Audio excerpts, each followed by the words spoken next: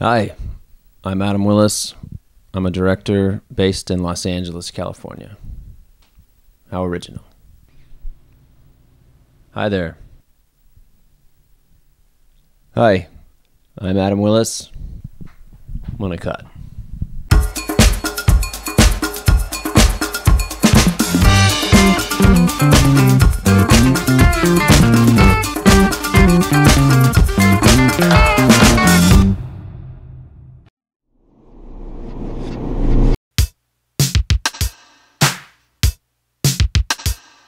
Yeah, I like old stuff.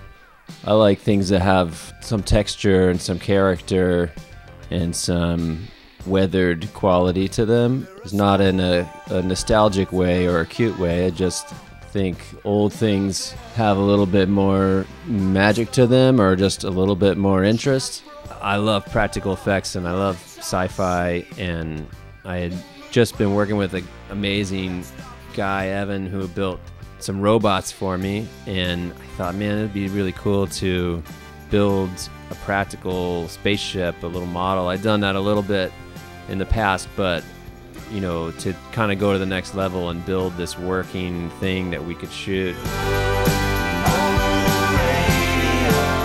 I always like to experiment with shooting on uh, high resolution formats and nice cameras and lenses and then degrading it down to tape because it it ends up feeling like sentimental. It feels like the movies I grew up watching on VHS because they were shot really well on cinema cameras and the versions that I know I watched on VHS tape.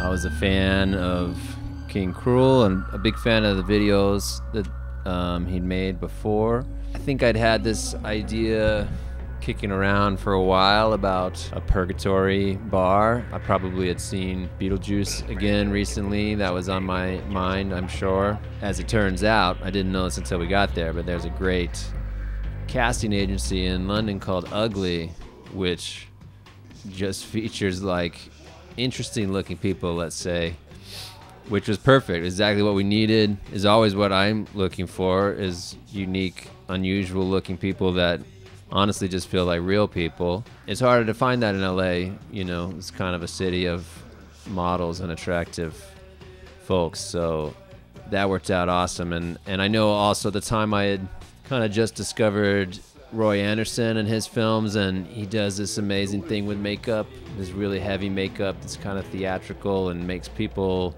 just sort of looked dead or unwell.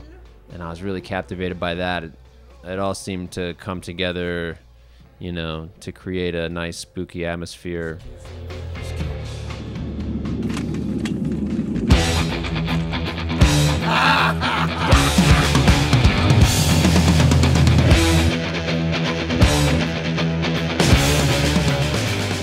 This song was very clearly this kind of rock opera feeling to it. I think for sure I'd just seen Zardoz and was really captivated by Sean Connery's ponytail and bikini look.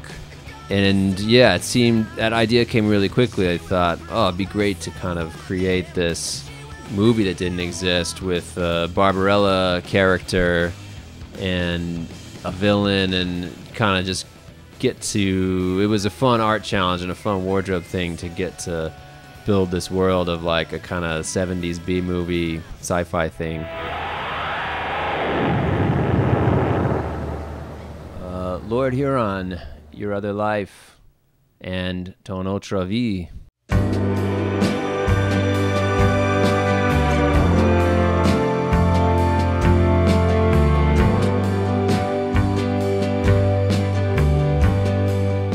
You get the chance to collaborate over and over and over a period of time with an artist, it's the best.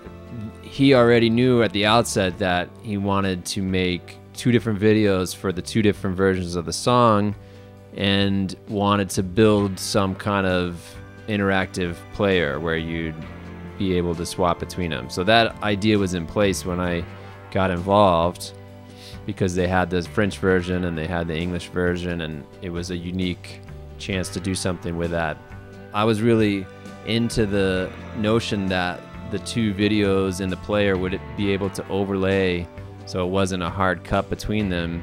With that in mind, I I was thinking about doing this Rashomon thing, and, and instead of really being two different stories, having to be one story that's really uh, broken down to like one moment in time and looking at it from two different perspectives.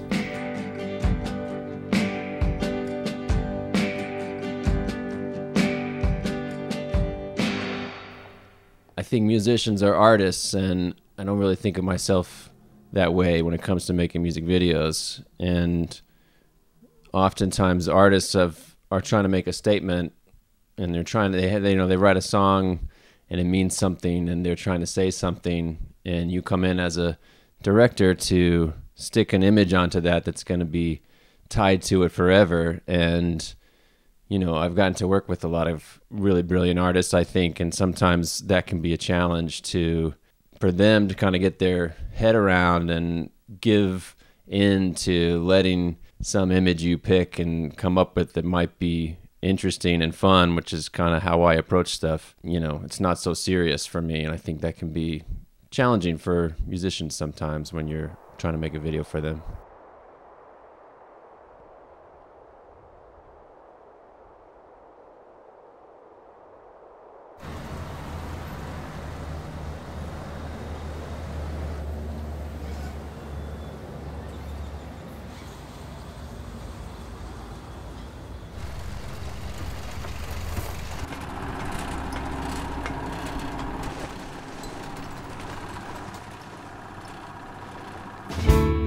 This video is kind of the first real proper music video that I ever made and made it with my best friends and we started out as a trio making videos together. We reached out to the Radar Brothers who were a band that we loved and said, "Hey, can we make a video for your song?"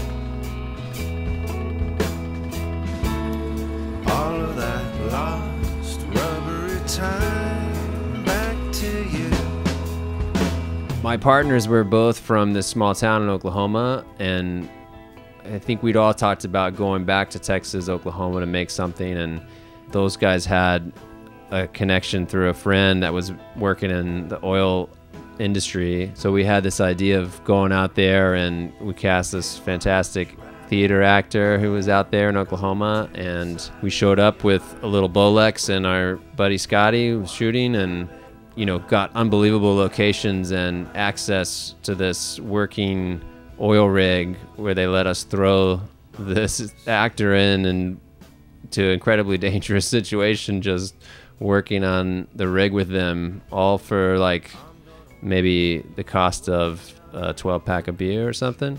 As with many videos i like to have just a powerful ending that leaves you with something and just had this idea to all kind of build up to this moment in this guy's day with this one lighting gag that was about all we could pull off with a skateboard and maybe one light we brought with us from LA. And yeah, it's emotional and uh, simple, and I still love it. You're gonna think of things